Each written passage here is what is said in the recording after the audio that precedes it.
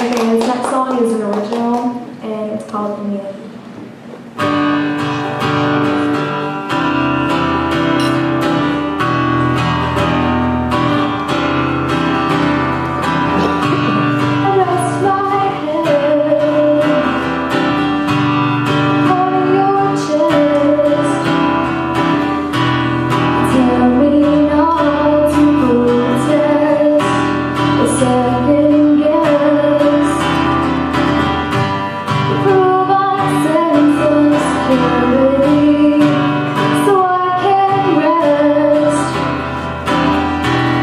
down your